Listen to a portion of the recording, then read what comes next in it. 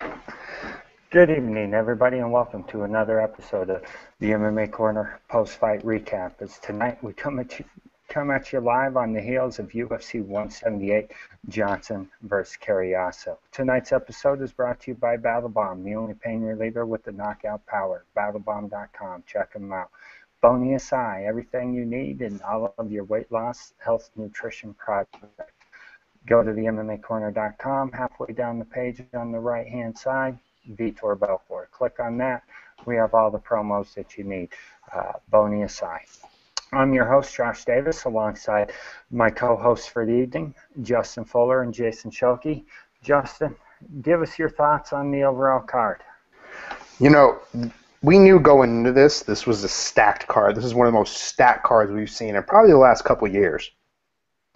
So we had a, a lot of high expectations, and it did not fail to deliver one bit, top to bottom, prelims, main event, just great card all around. Four of the five main card fights finishes. So no complaints from this guy. Definitely worth the money.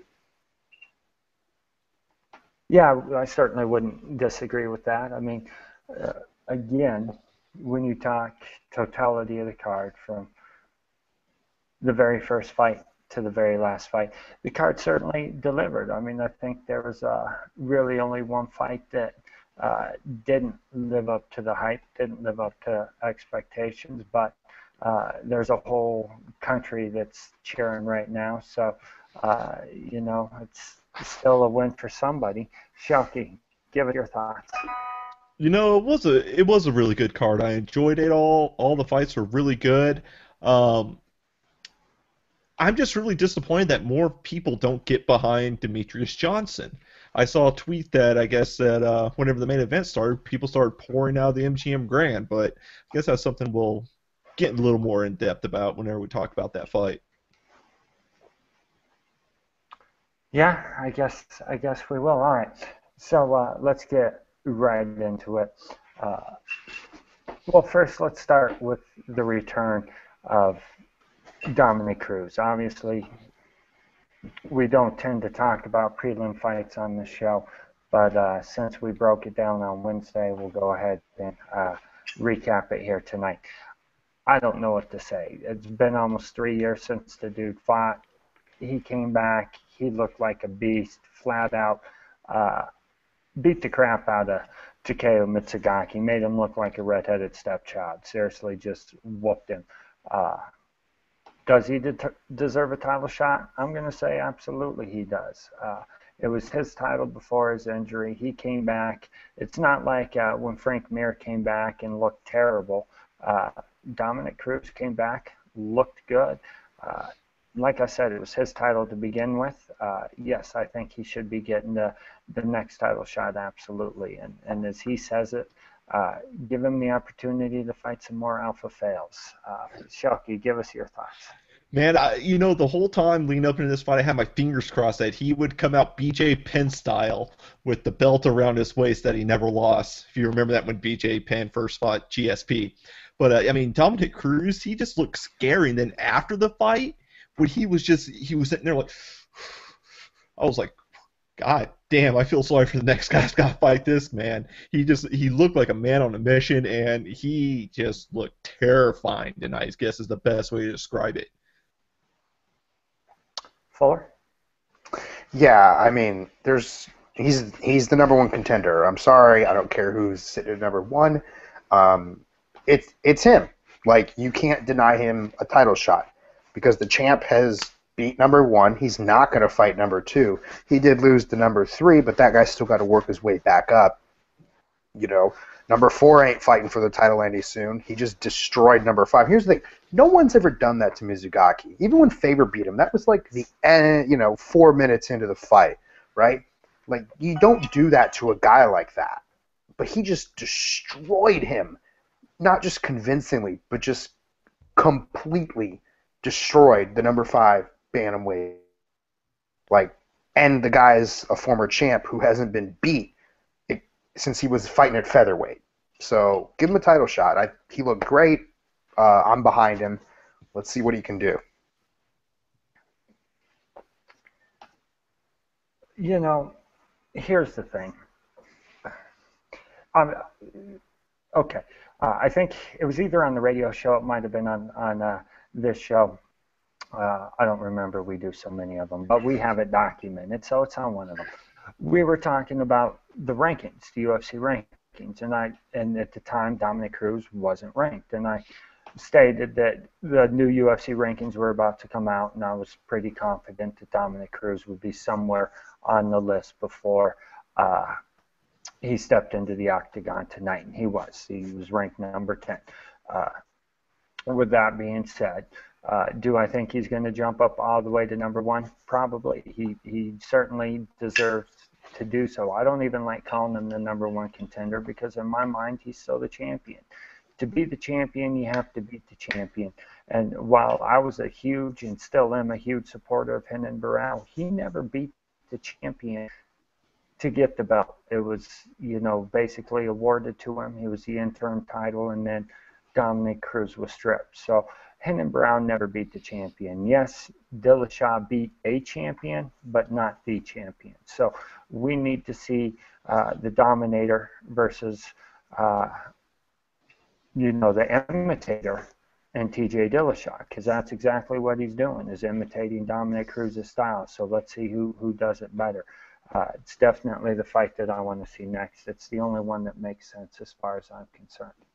All right. Speaking of returns, we had the return of Cat Zingano. Now, uh, everyone knows that you know Cat's a good friend of mine, and you know she had to go through a lot of crap in the last 17 months. She blew out her knee, lost her, um, just like Dominick Cruz, lost her golden ticket to. Uh, you know, uh, fight for a title, get pay-per-view buys, all that kind of stuff. But for Cat, it went deeper than that. You know, she had the tragic loss of her hus- of her husband, uh, Mauricio Zingano, which obviously is, is a huge loss, and regardless of, of the circumstances, it was not easy for her to deal with. And so, uh, for her to come back after the 17 month layoff and get the victory is excellent. Now, if uh, you saw the show on Wednesday night, it went. This fight went exactly the way I said it would. I said uh, Amanda Nunes was going to come out uh, with a storm, What Cat's asked for the first couple of minutes. As long as Cat could withstand that, she would be able to uh, work her way back get a victory in the in the third round, actually called the third round TKO. Uh, so I don't know what else to say. It was a great victory for her. Went exactly the the way that we figured it would go. And and Shelky, give us your thoughts.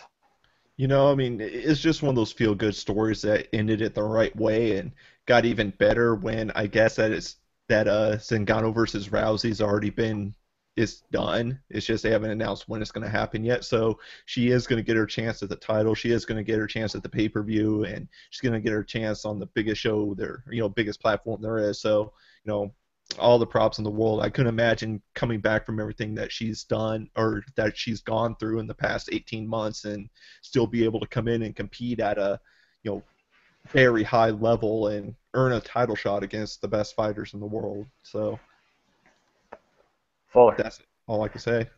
Yeah, uh, I know they did say they're looking at January for her, so my guess is it'll be that Jones Cormier card, their you know kind of New Year's time frame card on the third. Um, and he's right, like everyone knew going into this, a win for Cat means a title shot. Like the title shot, she never really lost, but kind of had to, you know, prove she still deserved, and that was a, a win that proved it. You know, she's definitely slow to start. She was getting worked real good early in the fight. I thought, man, it's only a matter of time. Then she rallied, came back, got that third round finish beautifully. Um, you know, so it's just a perfect ending to that story. She's going to get her title shot. But I don't think she's a threat to Ronda Rousey. Uh, honestly, she's a good fighter.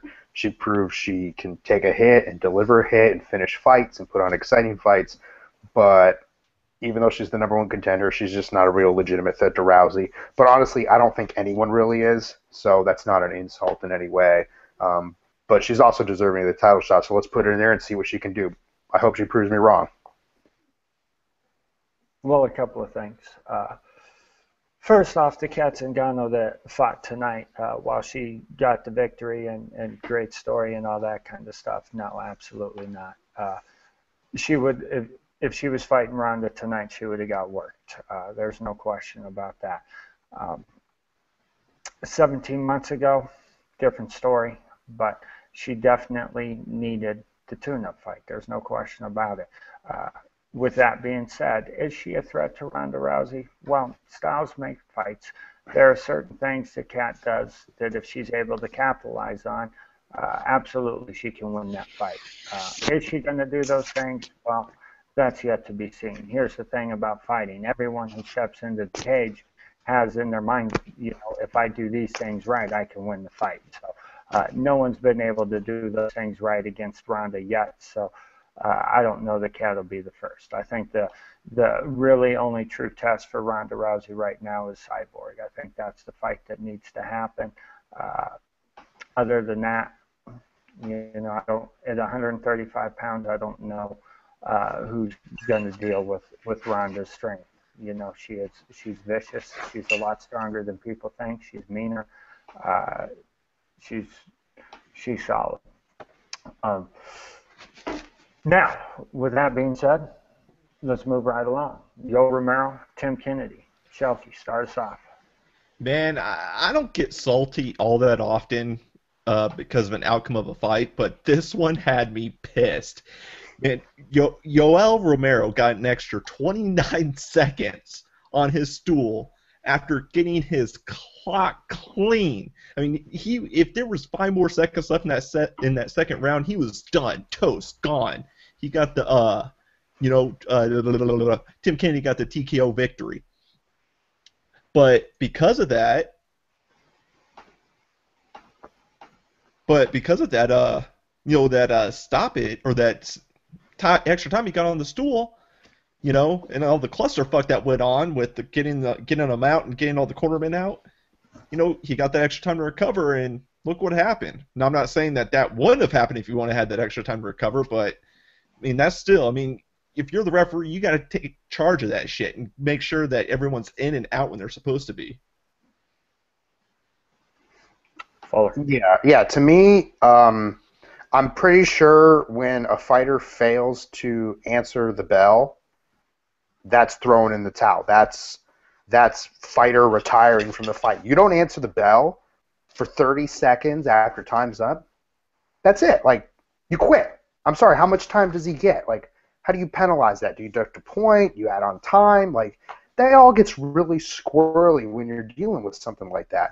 This wasn't like five, ten seconds. Oh, they were just fumbling around. They dropped the ice. You know, they they tripped over the stool. You're sitting there not answering the bell and that ref's got to be on that. Like, hey, get up, get up now, or I'm going to call the fight. Okay, you didn't get up, you lose. Like that's how you handle that situation. But at the same time, he did something to Tim Kennedy. Whether that extra 30 seconds played a factor or not, no one's ever done to Tim Kennedy. Like that's kind of what happened tonight. We saw guys get destroyed by dudes that they should have been more competitive against, and that's never happened to them before. Happened to Mizugaki, happened to Kennedy. Um, you know, hap- happened to Poirier. Like these guys just got absolutely destroyed tonight. So everyone that beat them, everyone needs to be on the lookout. But as far as the controversy, that's how I see it. You don't answer the bell, you retire from the fight, you lose the fight. Well, here's the thing.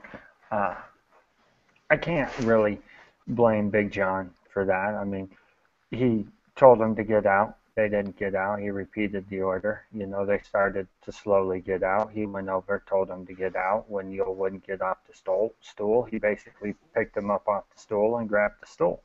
I mean, other than taking a point or anything like that, uh, I don't know what else to do. But again, if you take a point, you walk them around the cage, you know, indicating that you're taking a point, you're giving them more time to recover. Yep. So, I mean, really, what do you do in that situation otherwise other than just call the fight? And to be honest, I don't know. I would have to uh, research the rules on this.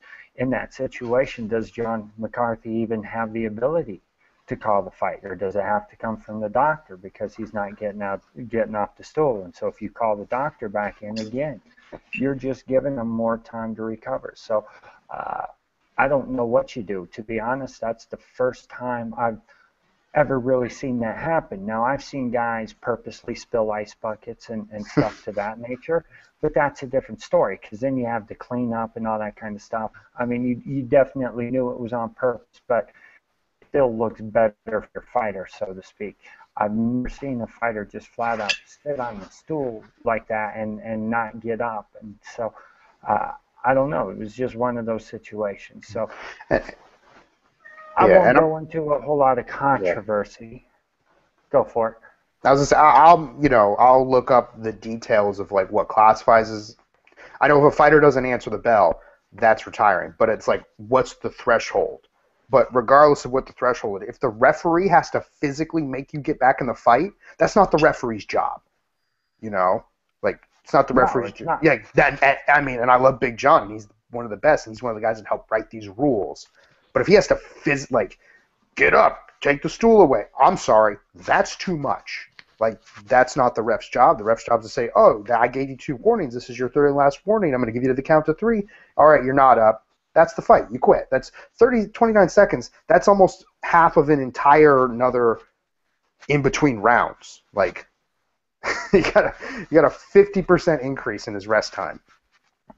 Yeah, So no, I it's- completely it's agree. horrendous. It was- But at the same time, we got to remember, Tim Kennedy also got that, that same amount of rest time. Now, granted, he might not have needed it as much, but he still got it as well. But he was he was ready to fight.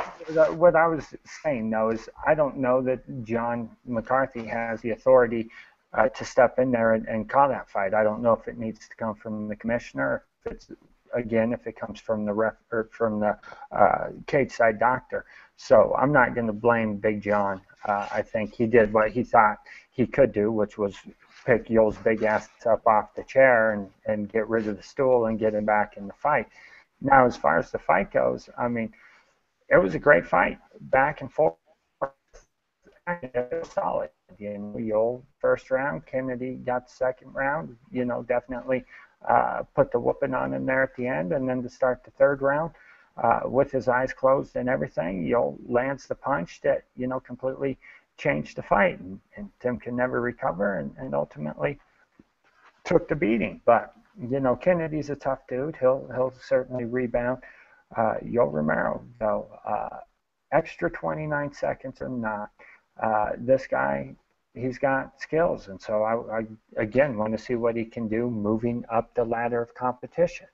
You know, I, I can't really take anything away from him because uh, his camp was smart enough to cheat and steal him an extra 29 seconds to get the victory. I mean, while it's not cool, like, honestly, we see stuff like that all the time. You know, in fights last night, we saw guys grabbing a cage. These these things happen. Uh, nobody's above cheating, really. That's what it is. But you know, we can't fault really Yoel for doing everything he needed to do to fight. Uh, I don't know what else to say about it, so let's move on. Conor McGregor, Dustin Poirier. Justin, start us off. Man, like I said before, like this is a guy who you don't you don't do that to him. Now I don't. I actually thought McGregor coming into this fight was going to be the better fighter, um, but I thought it was going to be a war. You know, Poirier's had his ups and downs. You know, he got tapped out by the Korean Zombie. He had three. He went three rounds with Cub Swanson, um, but the guy doesn't like this. Doesn't happen to him.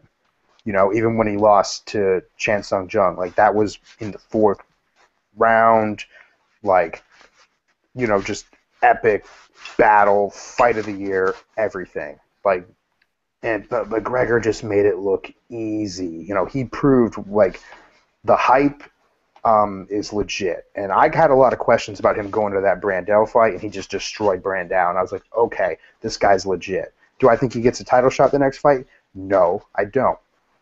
But part of that's just because you know. Uh, the that title's already kind of tied up a little bit. You know, we got at least one more fight, possibly two coming up on that. Um, but I would like to see him get in there and continue to mix it up. Um, you know, he definitely earned himself top five guy. Uh, you know, he just beat a top five guy, so let's get him in. You know, Mendes is fighting for the title. Then we got Cub and Frankie fighting. the winner of that's getting the next title shot. I don't care how big Conor McGregor is. That's just happening.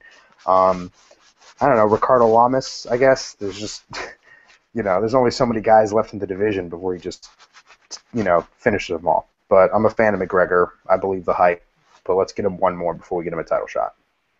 Shelky. Man, the dude is really good. He proved it tonight. I mean, he ran through Dustin Poirier like no one else ever had. But like Justin brought up, he's kind of in no man's land because you have you already have Mendes and and um, Aldo fighting, and then you have Swanson and Edgar, and the winner of that one's more than likely going to get the winner of the uh, Mendes Aldo fight. And so it's like you know McGregor's going to be waiting around a little bit before he gets a shot at the title. You know, unless some injuries happen or something like that, you know he could be you know a year out before he gets shot. So, but we know it's inevitable unless he has some you know, has loses some, you know, stay busy fight or something that we don't anticipate happening. But yeah, I mean, he looks scary, man. He's really scary. He proved he is for real. Well, I won't call it a stay a stay busy fight. I think the UFC is going to make him fight one more time, and I, to be real honest, think he's going to be fighting probably the winner of Frankie and Cub, depending on how he out. Uh, first off, we know Jose is an injury machine, so uh, the odds of him coming out of this fight 100% healthy and ready to go are slim to none. So we know he's going to be taking some time off. So uh, depending on, on how things play out, uh, I, I certainly think the UFC is going to tell Conor that your win off over Dustin Poirier is not strong enough to get you a title shot. Because uh, while I love Conor, that's his only significant victory in the UFC. Uh, big fan of Max Holloway. He's you know still a B level fighter at the moment. Uh, Diego Brandao, I've always thought is overrated. Yes, he did win the show and that and blah blah blah.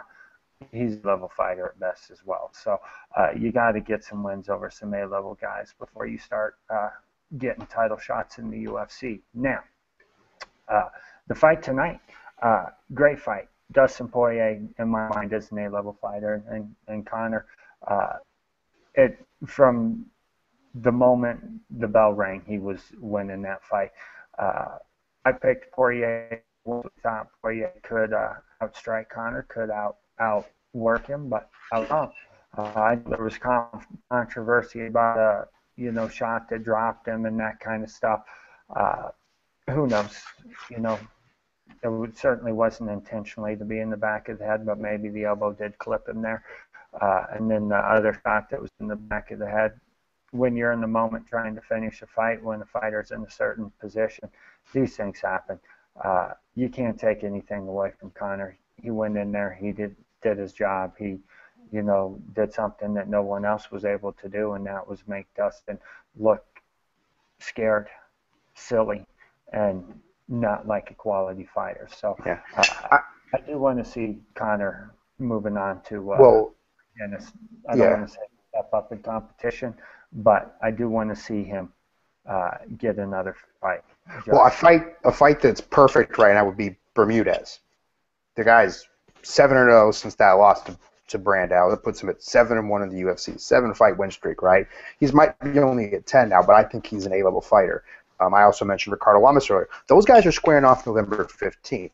So I think it's pretty clear who Conor McGregor fights next. The winner of that fight, Bermudez Lamas, fights the fights McGregor. And if all those out and he he's not healthy to fight the you know assuming he beats Mendes and he's not healthy to fight the winner of Cub Edgar, then the winners of those two bouts fight. Like I think uh, there's a lot of options right now for featherweight, and uh, I think the best matchup for him, with everyone else tied up, the winner of Bermudez Lamas. Would certainly make sense. Would certainly yep. make sense, and it's a, a fight I would like to see, and it would certainly uh, fill a soccer stadium over there in Ireland. That's for sure. So, uh, the UFC has a lot of options with with Cub, and there's a lot of or with Conor, and there's a lot of things that they can do with him. But you know, he's proven that the hype train is uh, the real deal. The guy hits hard, and you know, he he has the aura that that the fans love. All right, moving right along. Co-main event. Donald Cerrone, Eddie Alvarez. Fuller, why don't you start us on this one? Um, you know, Eddie started off strong. Like kind of what I expected. Um, I thought he was going to be able to keep, keep Cowboy, you know, on his heels the whole time, keep pressure on him.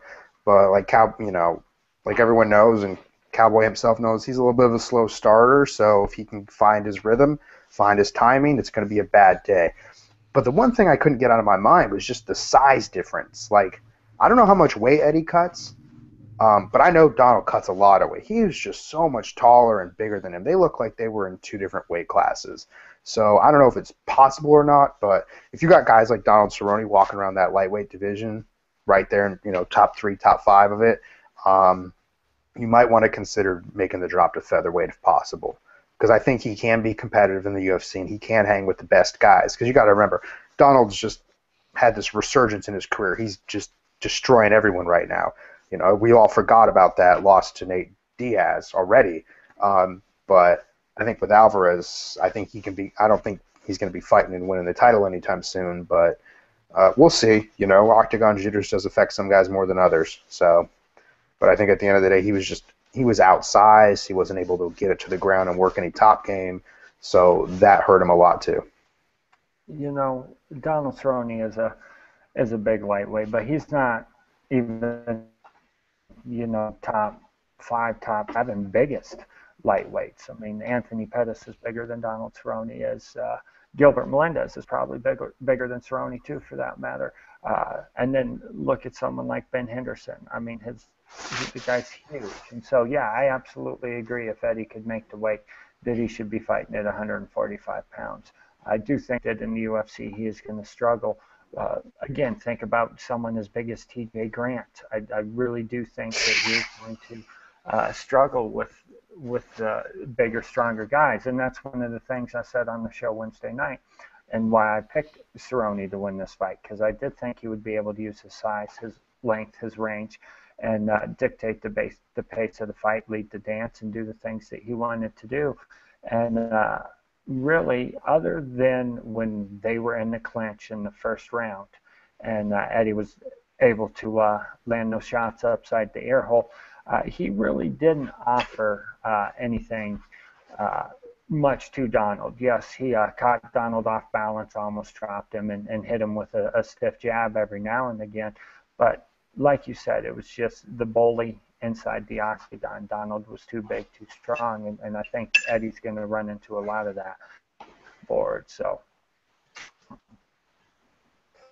we'll have to see. But welcome to the UFC, Eddie. Glad to have you over here. I uh, can't wait to see what you can do. And and hell, it, it really was a great fight. It was a good performance. But I thought Donald should have finished him in the third round. Instead of going to the ground with him when Eddie couldn't stand up, you make the guy stand up and you kick his frickin' leg again until he falls down. Then you stand up again and you kick it again and again and again and again. You don't go down to the guard and, and let the guy frickin' recover.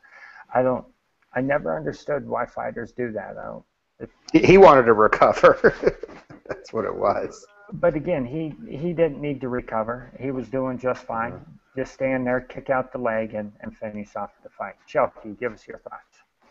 Well, if we're gonna get technical here, I guess Donald Cerrone is now the linear Bellator lightweight champion. True story. So congratulations to him on that. Um, but I echo your guys' thoughts. Eddie just looked tiny in there. I mean, Donald Cerrone was so tall, so lanky, so big. I mean, a lot of these dudes that in the lightweight division are cutting from, you know, I mean, well, they're walking around at 200 pounds, and they'll start their camps around 185, and then get down to 155 by the end of their camp. Eddie Alvarez isn't anywhere near that big, so yeah. I think that he needs to get with, uh, he needs to get with, um, you know, Mike Dolce or some nutritionalist and figure out a way to see if his body can make 45 in a healthy manner so that way he can be competitive in the UFC. Yeah, I certainly agree with that. I certainly agree with that. And there's Eric Trigel who uh, works with Miesha Tate and, and uh, a whole ton of people anyways. He, he would be good. But I don't think Eddie would have any problem making 145, to be real honest. Um, if Jose Aldo, who is again bigger than Eddie Alvarez is, can drop down and make the weight, then uh, so so Eddie. Again, it's just uh, getting all that water out of your body. Use some salt, sit in the sauna, uh, Albolene, rub that stuff off. Anyways, again, great fight for Eddie, great fight for Donald. Uh, real quickly, where does Cerrone go from here? What does the UFC do with this guy? I mean, obviously, he has just been uh, wrecking fools. He now is a Bellator lightweight champion. So, uh, do we do champion versus champion? How? Wh- what are your guys' thoughts for the, as, the next next as a, for, for Cerrone? As a fanboy, I want to see champion versus champion to unify those belts, just to be like, man, fuck you, Bellator. That'd be funny. Um, but uh, I think what we do is, uh, well, we have to wait to see what happens with Pettis and Gil. That's a given. Pettis is injury prone, so assuming this fight even goes his way, I don't anticipate him making a quick three, four month turnaround to defend that belt again. Um, you know, uh, Khabib right there is sitting next in line, but he's been out for a while too. And while the numbers on the rankings say he should fight next, eh, you know, when you're out that long, it's hard to sell that fight. So I say, uh, depending on Khabib's time frame of return, because um, we're still got a little bit of time before the title fight, and how healthy Donald is, we have that fight, and that'll determine the next number one contender after Gil.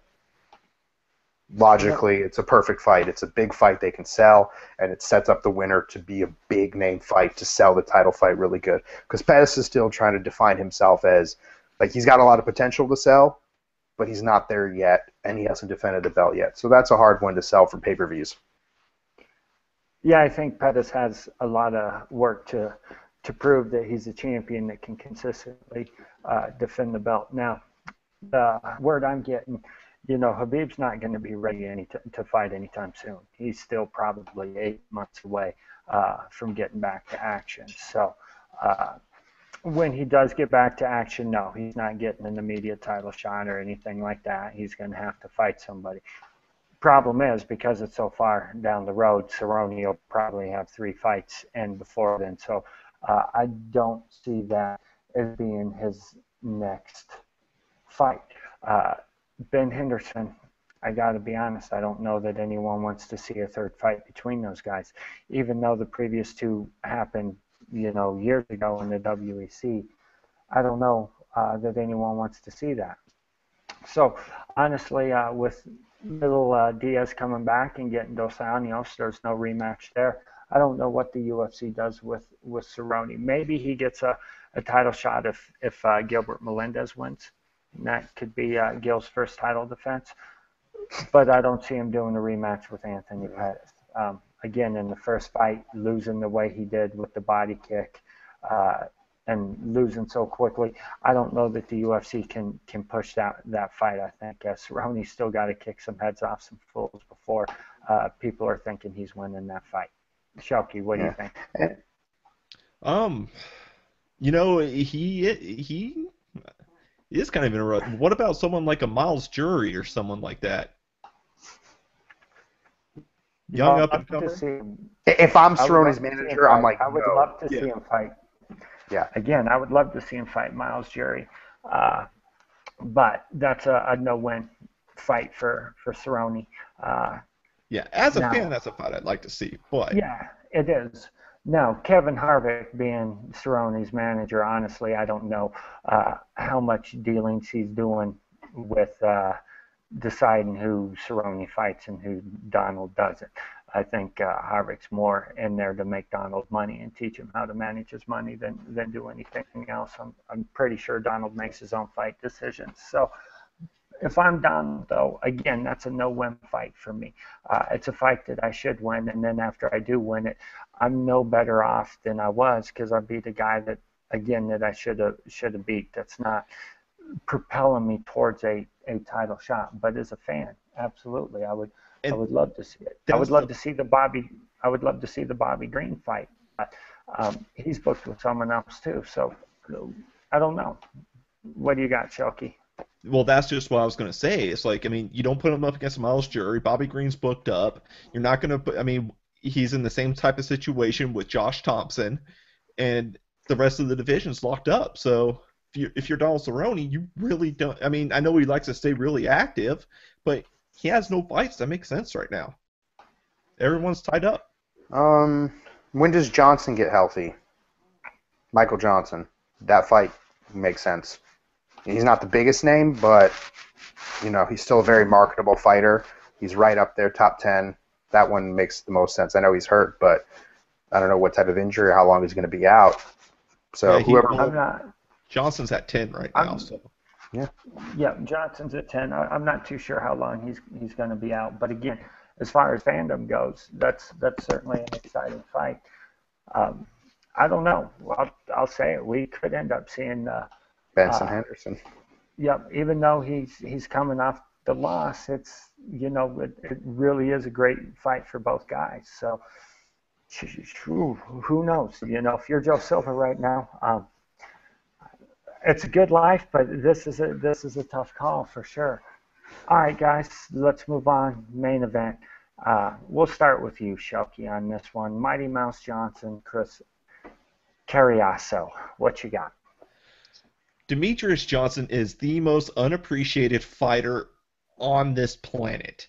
No one can appreciate how good he is and how technical he is when he fights. I mean, he has made everybody in the division since he's won the title and in route of winning the title, and he's made it look easy. He's made it to the point where you know he's so easy that fans think is boring, but it's not boring. It's just he makes good fighters look bad, and it's a, just a testament to how good he is and to how good Matt Hume is. Because I think that Matt Hume is possibly the most underrated trainer in the sport today. And the fact He's that one- he's been able, Yeah. Yeah, I mean, he's been able to take Demetrious Johnson, work with him from the ground up, and look what he's done with him. He's created a fighter who is completely clean out of the division.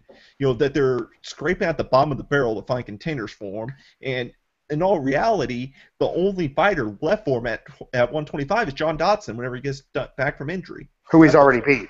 yeah, who he's already beat, but Dodson has evolved, and that is the only fight. I mean, are you going to put him up against uh, you know, I, yeah, Ian McCall or Ian McCall or um or Joseph Benavidez again?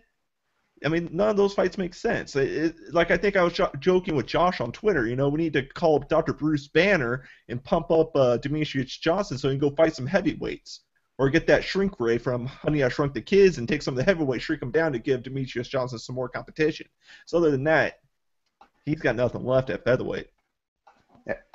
And I, I, I don't think the problem was that Cariaso wasn't a deserving contender.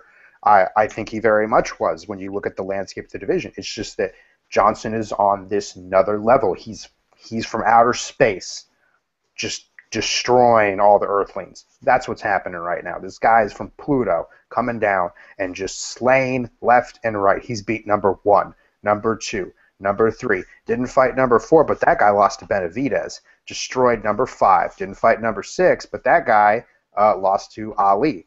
Uh, destroyed number seven. And now number eight. So out of the top eight, he's fought and beat all of them, but two who themselves have losses to guys higher up the food chain. So when you look at who's left for him, yeah, I want to see the Dodson rematch. I think Dodson gave him the most problems. Um, I would actually like to see a third fight with McCall too. If he, I think he's slated to take on, uh, yeah, Lineker here coming up in November. So if he can keep that high, that train moving, he's going to set himself up pretty good for an, a third fight with DJ, but his first title shot. Um, but at the end of the day, I don't see anyone dethroning the champ anytime soon, and it is a shame. He's not a big enough guy. I think it just highlights the fact that none of the guys in that division are big stars. Um, and that's the problem. You know, you got to fight big names to become a big name, and they just don't exist there. Uh, you know, when he, he gets asked about moving it back up to 135, he says, "Why would I do a harder job for the same amount of money?" You know, I'm happy here. I want to keep beating these guys. I want to defend this title 10, 20 times if I can. And that might be what happens. We might see him clear out literally everyone in the division and then retire with nothing else to prove. But he'll still never make Anderson Silva money, unfortunately. No, he won't. He won't. Um, a couple of things. So if I was him, I wouldn't move up either because uh, pretty soon Dominick Cruz is going to be the kingpin of that division again. Uh, we already know what's going to happen in that fight. As much as I love uh, Mighty Mouse Johnson. The problem is, is Dominick is as quick as he is, and he's a whole lot bigger and stronger. And so uh, we've already seen that fight. Nothing's going to change. With that being said, at 125 pounds, he is the best fighter on the planet. There's no question. And pound for pound, he might be uh, top three uh, in the world. So he's just in a very tricky position, like you guys said. You know, he's he's not a star. He's not in a division that's going to make uh, tons of money. Now, uh, I have to disagree with with uh, Shelky though. I think uh, any true MMA fan, anyone who knows the sport, does appreciate how good he is. The problem is there's just no one that's as good as him to push him. There's no one that's as good as him to give us an exciting fight like we can get in other weight divisions. And I think that is the problem. Uh, yes, I think we all want to see John Dodson fight Demetrious. Uh, Johnson again for the simple fact that if John was a more seasoned UFC fighter the first time they fought, he probably would have won that fight.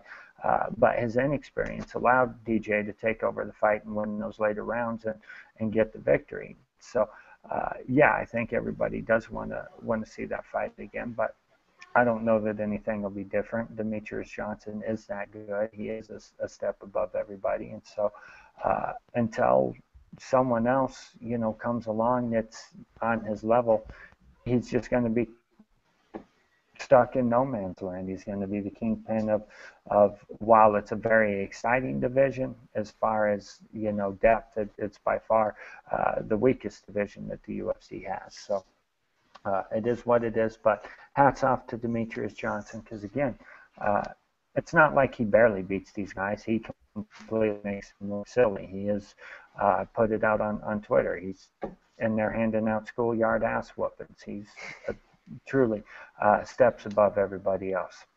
All right, guys, uh, let's start with you, Fuller. Final thoughts on the sh- on the show tonight.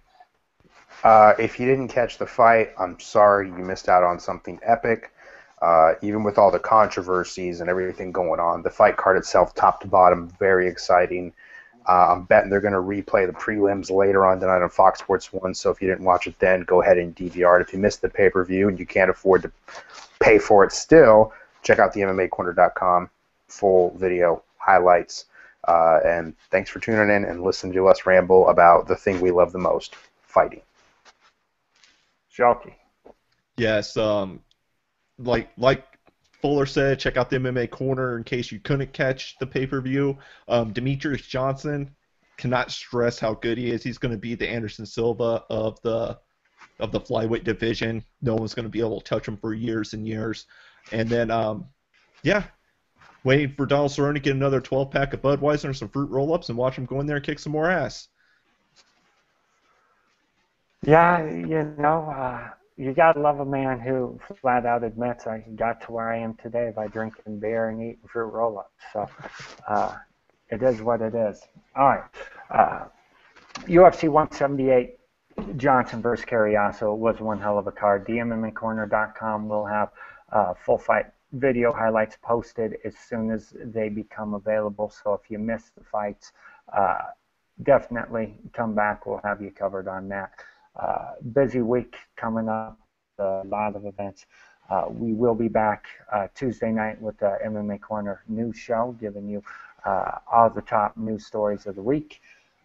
Then on Wednesday, immediately following Top 20, we will be back with the MMA Corner post. I'm sorry, the MMA Corner prediction show. We will be hitting up both cards for next weekend. There's UFC Fight Night 53, Nelson versus Story live on Fight Pass from Stockholm, Sweden.